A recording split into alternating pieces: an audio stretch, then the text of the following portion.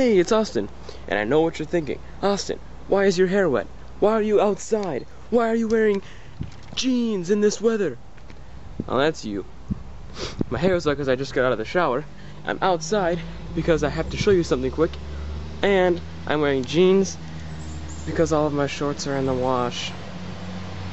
I woke up this morning and I look outside my window and whoa, whoa, what is all this? The answer?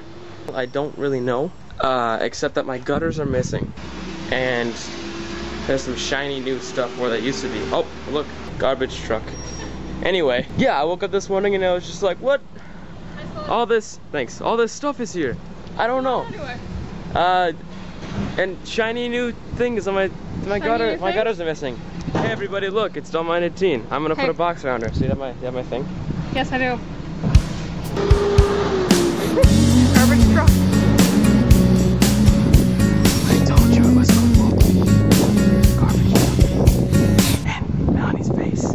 Yes.